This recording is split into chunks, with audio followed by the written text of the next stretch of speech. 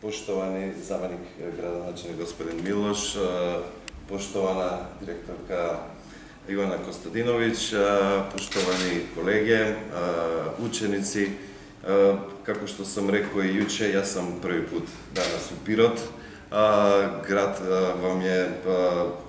истина веома леп, оно што оно што могу да видим да, да ние само град, него и луѓе кои се нас примили домачини, су увек, како кажемо, нели, френдли, како сте ви рекли, да ми смо на неки начин братски земје кои увек су сараđивали у прошлости,